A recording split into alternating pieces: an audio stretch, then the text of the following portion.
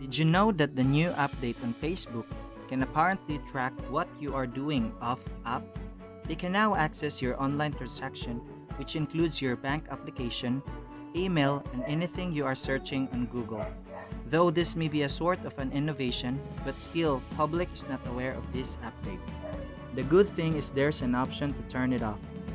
To turn it off, go to Settings, scroll down to Off Facebook Activity, then click Clear History. You will see everything they were tracking. If you clear your off Facebook activity from your account, here are some things to know. Your activity history will be disconnected from your account and you will still see the same number of ads.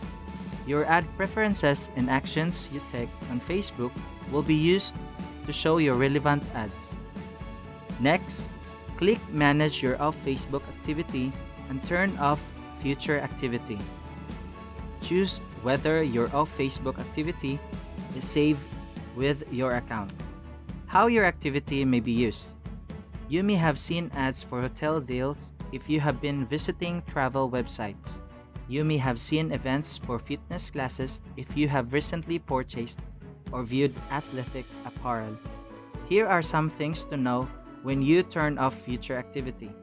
Your activity history will also be disconnected from your account.